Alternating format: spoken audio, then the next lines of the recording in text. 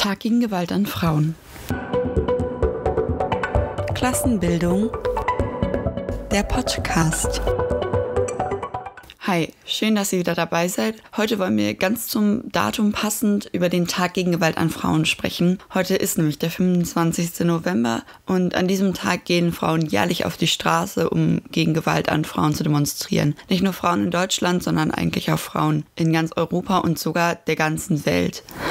Der Tag gegen Gewalt an Frauen ist auch nicht in Deutschland oder Europa erfunden worden, sondern tatsächlich von lateinamerikanischen Frauen auf einem Frauenkongress angestoßen worden. Und als allererstes will ich euch jetzt ein bisschen so was Historisches erzählen, wie es überhaupt zu diesem Tag gekommen ist, beziehungsweise warum man sich für den 25. November entschieden hat. Dann will ich ein paar Zahlen aus Deutschland nennen. Also ist das Thema heute für uns überhaupt noch aktuell oder haben wir quasi in Deutschland den Sexismus und die Gewalt an Frauen schon besiegt? Und dann später wollen wir uns auch damit beschäftigen, wie es in anderen Ländern aussieht und vor allen Dingen, wie wir auch damit umgehen können. Also was können wir heute gegen Gewalt an Frauen tun, außer am 25. November auf die Straße zu gehen natürlich. In den 60ern gab es in der Dominikanischen Republik einen Diktator, der hieß Trujillo. Und wo es einen Diktator gibt, da gibt es in der Regel auch immer Widerstand, weil nicht alle Leute das ganz so toll finden und das ist auch gut so. Eine dieser Widerstandsbewegungen gegen den Diktator Trujillo, die sehr bekannt geworden ist, ist die Bewegung des 14. Juni. Und da die so bekannt war und auch so aktiv gegen ihn, hat der Diktator viele von den Mitgliedern dieser Organisation verhaften lassen. Unter anderem auch die Schwestern Minerva, Patrizia und Teresa Mirabal.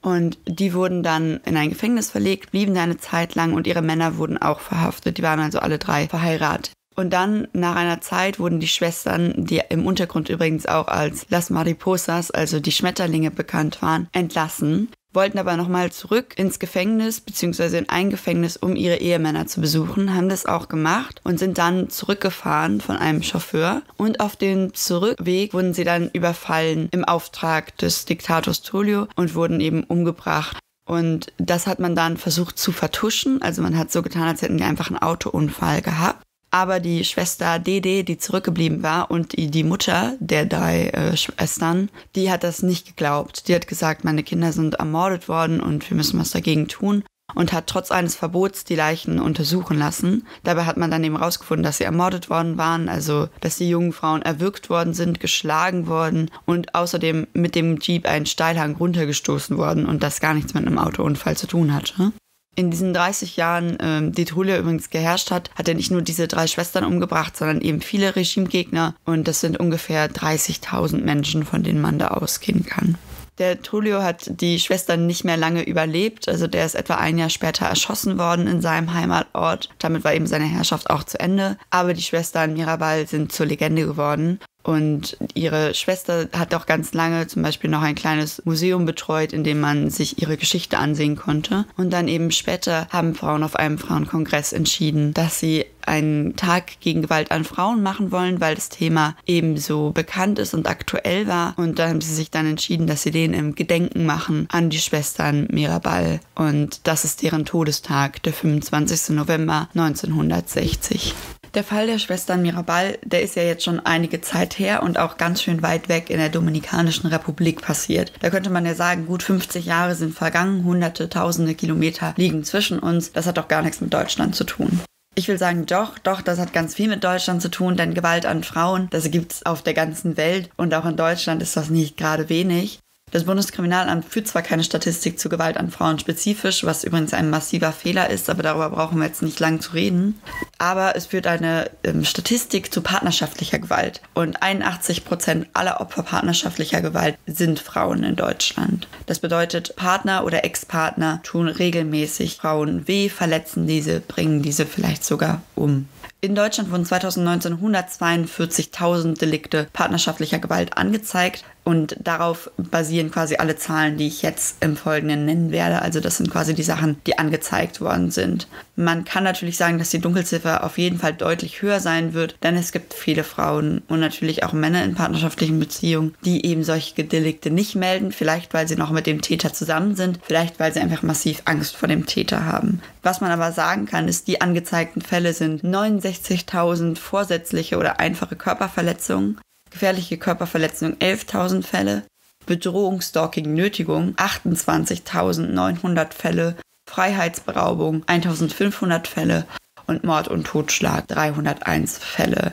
Hierbei handelt sich es auch um die Fälle, die angezeigt wurden, die nicht vollendet wurden, also nur angefangen. Zum Beispiel die 301 äh, Menschen, die dort in partnerschaftlichen Beziehungen unter Mord und Totschlag leiden. Da geht es nicht nur um die, die tatsächlich gestorben sind, sondern auch um die Vorfälle, die begonnen worden sind. Tatsächlich gestorben, das kann ich zu 2019 noch nicht sagen. Allerdings kann man sagen, 2018 sind 122 Frauen von ihren Partnern oder Ex-Partnern ermordet worden. Das ist etwa eine Frau jeden dritten Tag.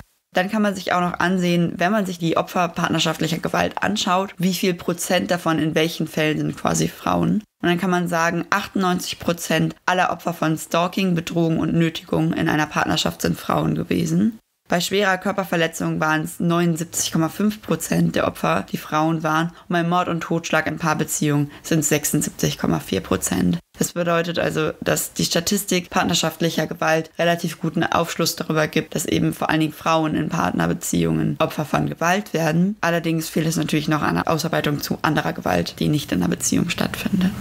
Nachdem wir uns jetzt kurz und knapp die Fälle in Deutschland angeguckt haben, und kurz und knapp deshalb, weil es eben so aussagekräftig war, denn schließlich sind 140.000 Fälle von partnerschaftlicher Gewalt und 114.000 davon an Frauen eigentlich nichts, worüber man noch lange diskutieren muss, sondern da ist einfach offensichtlich, dass es ein Problem mit Gewalt an Frauen in Deutschland gibt. Aber eben nicht nur in Deutschland, sondern international. Deshalb gehen ja auch international die Frauen auf die Straße wegen diesem Thema. Deshalb gucken wir uns jetzt noch ein paar andere Länder an. Dabei finde ich auch die Zahlen zu Europa bzw. andere europäische Länder relativ spannend. Erstens sind das ja unsere unmittelbaren Nachbarn, aber vor allen Dingen auch deshalb, weil sich europäische Regierungen gerne als so fortschrittlich darstellen. Also dann werden Pride-Flaggen gehisst und selber wird mitgegangen in irgendwelchen Demonstrationen gegen Gewalt an Frauen, aber dann wird eben nichts gemacht. Und außerdem stellt man sich dann gerne auch über andere Länder, die nicht in Europa liegen und sagt, wir sind so viel fortschrittlicher. Und da muss man eben sagen, nein, Gewalt an Frauen, das gibt es auch in. Europa und das ist ein ganz wichtiges Thema, was thematisiert werden muss.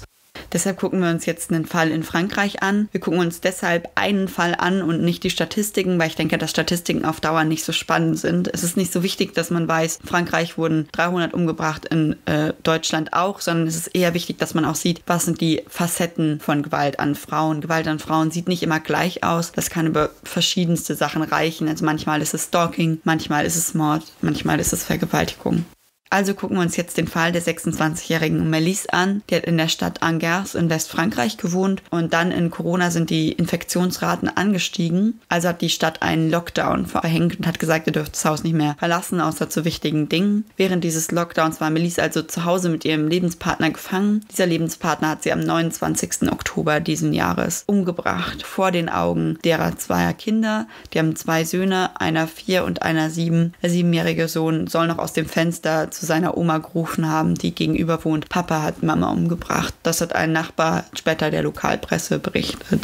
In Frankreich ist Melisse durchaus nicht der einzige Fall. Jetzt gucken wir uns doch nochmal ein bisschen Zahlen an, sondern sie ist eine von 87 Frauen, die in Frankreich durch ihre Partner oder Ex-Partner umgebracht wurden in diesem Jahr alleine. Das setzt die Zahlen von letztem Jahr fort, denn man kann sich angucken, dass in Frankreich letztes Jahr jeden zweiten Tag ein Femizid registriert worden ist, also ein Mord an einer Frau. Darüber hinaus wollen wir uns jetzt nochmal ein anderes Land angucken, und zwar Spanien. In Spanien gibt es einen ganz bekannten Fall von 2016. Dort hat eine Gruppe von fünf Männern eine Frau auf dem San Fermin Fest in Pamplona quasi in einen Hauseingang gezerrt und dort vergewaltigt. Und sie haben das gefilmt und das Ganze auch noch hochgeladen. Und dann ging das Ganze vor Gericht und weil die Frau sich nicht gewehrt hat, also nicht körperlich gewehrt hat, hat der Richter gesagt, das war keine Vergewaltigung, das ist nur Missbrauch und dann eben eine deutlich geringere Strafe verhängt, als sie bei Vergewaltigung verhängt worden wäre. Dieses Urteil hatte dann breite Proteste zur Folge, das ist auch richtig so und das hat eben Untersuchungen angeregt und in diesen Untersuchungen ist rausgekommen, dass mehr als 40 Prozent der jungen Frauen angeben, dass sie zum Beispiel in sozialen Netzwerken und auch auf Messenger-Diensten sexuell bedrängt worden sind. Also 40 Prozent aller Frauen in Spanien sagen, ich werde im Internet belästigt. Dabei geht es zum Beispiel um Tatbestände wie der Frage von Nacktfotos durch Männern, also dass Männer irgendwie sagen, schick mal Nudes, äh, auch Männer, zu denen man keinerlei äh, intime Beziehung hat. Aber aber es geht eben auch um die Veröffentlichung intimer Fotos von Frauen gegen ihren Willen. In Spanien hat zum Beispiel auch ein Fall Schlagzeilen gemacht, in dem das Opfer eine Fabrikarbeiterin quasi jemandem Fotos geschickt hat und der die dann durch die ganze Belegschaft geschickt hat, der Fabrik, also alle Männer der Fabrik konnten sich das ansehen und danach sie Suizid begann. Dann 2003 wurde eine Statistik erstellt in Spanien und in der hat man festgestellt, also schon vor 2016, vor dem Fall, der rausgekommen ist, dass 1074 Frauen von ihrem Partner und Ex-Partner ermordet worden sind in dem Jahr 2003. Und 2019 sind es übrigens bereits 41 Frauen, die ermordet worden sind. Jetzt wollen wir von Spanien noch mal ein bisschen weiter weggehen aus Europa raus und uns Äthiopien angucken. Äthiopien ist deshalb interessant, weil dort 70 Prozent aller Frauen in Äthiopien und auch 70 Prozent aller Frauen in Sierra Leone, beziehungsweise dort sogar 90 Prozent, sind beschnitten. Das heißt, an ihnen wurde eine Genitalverstümmelung durchgeführt. Für diese Genitalverstümmelung wird oft die Religion als Grund genannt, aber das ist eigentlich nicht der eigentliche Grund, sondern ähm, Genitalverstümmelung gibt es schon viel länger in vielen verschiedenen Ländern. Das kann man an mumifizierten Körpern von pharaonischen Prinzessinnen belegen. Das bedeutet, Genitalverstümmelung gab es schon bevor es den Islam gab und das kann man tatsächlich dieser Religion nicht anhängen, auch wenn es unter dem Deckmantel der Religion häufiger passiert. Nach den Angaben von UNICEF sind weltweit 125 Millionen Frauen und Mädchen von weiblicher Genitalverstümmelung betroffen, vor allen Dingen im nördlichen Afrika, aber eben auch in südostasiatischen Ländern. Dann gehen wir von Äthiopien nochmal in ein anderes Land und wollen uns die Zahlen in den USA anschauen. In den USA gibt es ein ähnliches Problem wie in Deutschland und zwar gibt es dort keine Statistiken zur Gewalt an Frauen, sondern es gibt dort nur Statistiken zu partnerschaftlicher Gewalt. Ebenso wie hier ist in den USA aber so, dass die allermeisten Opfer partnerschaftlicher Gewalt eben Frauen sind. Dazu gibt es eine Statistik von der CDC aus dem Jahr 2010. Dort haben sie einige tausend Menschen befragt und das dann hochgerechnet auf die Gesamtbevölkerung der USA. Dabei ist rausgekommen, dass etwa 1,3 Millionen Frauen in den USA im Jahr von ihren Partnern vergewaltigt worden sind, also im Jahr 2010 und 57 Millionen Menschen ungefähr psychologische Aggressionen erlitten haben. Das bedeutet, dass Menschen sie mental fertig gemacht haben in der Beziehung. Dazu zählen aber auch zum Beispiel Sachen wie Stalking, Beleidigung, alles sowas. Dann gibt es 22 Millionen Amerikanerinnen und Amerikaner, die der Studie zufolge nach von ihrem Intimpartner schon einmal umhergestoßen oder geschubst worden sind und 20 Millionen, die hochgerechnet im Laufe ihres Lebens Opfer einer Ohrfeige werden. Damit sind auch die Zahlen in den USA relativ hoch. Dazu kommt aber noch etwas anderes, was wir im Rahmen der USA noch besprechen wollen, und zwar das Phänomen der sogenannten Incels. Die Inselbewegung, die kennt man vor allen Dingen aus den USA, die hat aber mittlerweile auch in Europa Fuß gefasst. Wofür steht denn Incel eigentlich? Incel steht für das sogenannte Inceldom und das heißt Involuntary Celibacy, also unfreiwilliges Zölibat. Die Anhänger, die sich dabei selbst als Incels bezeichnen, sagen, sie hätten ein Recht auf Sex, das ihnen von Frauen verweigert wird. Sie verbreiten demzufolge dann Hass, Gewalt und Vergewaltigungsfantasien im Internet und sehen Frauen als Menschen zweiter Klasse und als reine Reproduktionsmaschinen an, also Menschen, die nur dazu da sind, Kinder zu gebären.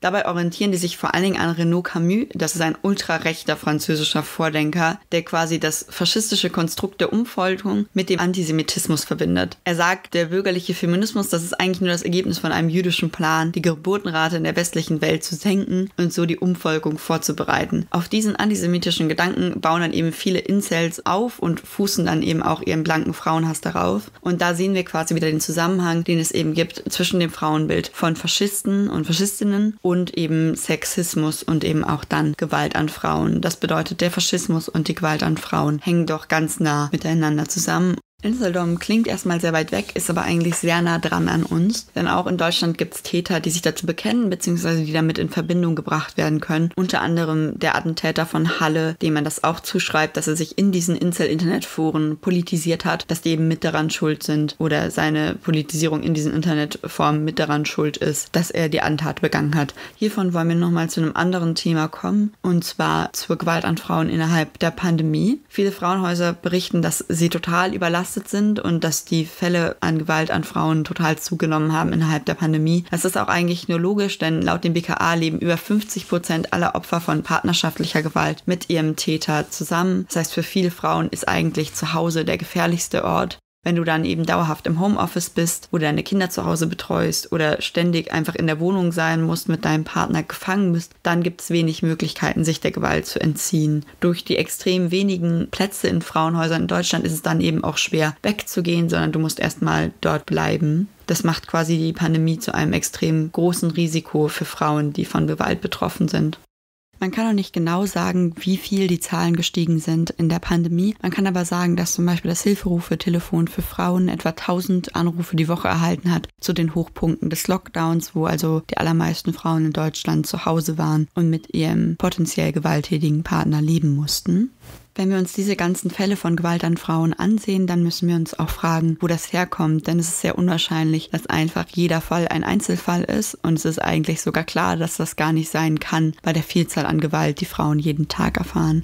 Woher kommt es also, dass Frauen in unserer Gesellschaft so herabgewürdigt werden, beziehungsweise dass ihnen regelmäßig Gewalt widerfährt? Da habe ich gerade schon einen der größten Punkte angesprochen, und zwar die Herabwürdigung von Frauen. Denn Gewalt ist ja nicht das allererste, was passiert, sondern in der Regel ist Gewalt nur die Spitze des Eisbergs und davor kommt sehr viel mehr. Davor kommt eben der ganze Rest der Unterdrückung von Frauen. Die Tatsache, dass sie weniger verdienen, dass sie als weniger qualifiziert angesehen werden, dass ihnen immer eine Mutterrolle zugesprochen wird und sie sich alleine um die Kinder kümmern sollen. Oder zum Beispiel wie die Incels es machen, dass sie nur für Sex da sind, also sehr sexualisiert werden aber eben auch die Tatsache, dass sie weniger verdienen und damit häufiger in Altersarmut geraten und dass sie einen großen Teil der unbezahlten Reproduktionsarbeit machen, also sowas wie putzen, kochen, sich um die Kinder kümmern oder vielleicht ältere Menschen pflegen. Vor allen Dingen von letzterem profitiert der Kapitalismus extrem, also dass er die unbezahlte Hausarbeit, die von Frauen geleistet wird, nicht bezahlen muss. Ähm, man kann sogar sagen, er fundiert darauf, denn es ist ja tatsächlich so, dass der Arbeitslohn im Kapitalismus daran bemessen wird, wie viel man braucht, um die eigene Arbeitskraft wieder zu reproduzieren. Also wie viel muss man den Menschen geben, damit sie am nächsten Tag wieder zur Arbeit kommen können und sich in der Zwischenzeit alles leisten können, was sie dafür brauchen, also Essen, Trinken, etc. Die Tatsache, dass Frauen nicht dafür bezahlt werden, dass sie die Arbeit zu Hause noch machen, also sowas wie Kochen, Putzen, etc., sorgt dafür, dass die Kosten, die man für die Reproduzierung der eigenen Arbeitskraft braucht, also dafür, dass man am nächsten Tag wieder zur Arbeit gehen kann, reduziert werden. Das drückt im Insgesamten den Arbeitslohn. Das bedeutet, Menschen verdienen weniger, weil nicht mit einberechnet wird, dass sie zu Hause noch weiterarbeiten müssen.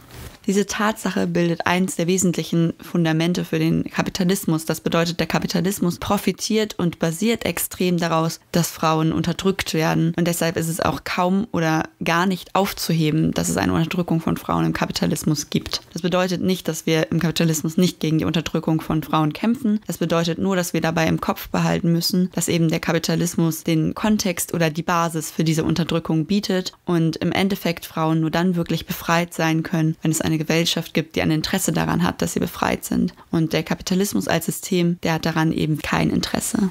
Wenn wir uns das so vor Augen führen, dann ist das natürlich erstmal sehr frustrierend zu sagen, im Kapitalismus kann man Sexismus und Unterdrückung von Frauen nicht abschaffen. Das bedeutet aber keineswegs, dass wir nicht dafür kämpfen werden. Das bedeutet, was können wir denn heute tun, um gegen Sexismus und auch um gegen Gewalt an Frauen zu kämpfen?